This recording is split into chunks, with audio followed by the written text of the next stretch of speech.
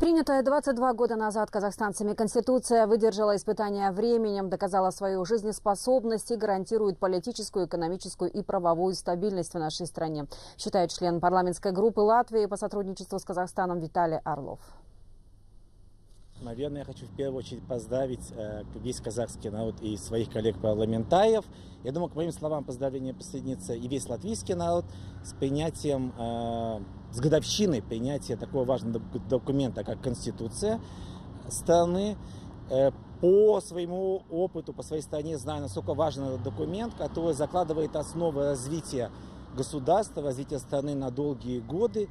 И, как показывает э, опыт Казахстана. Э, принятая конституция действительно дала толчок демократическим преобразованиям, развитию страны и, я надеюсь, э, долгосрочным хорошим отношениям между Казахстаном и Латвией.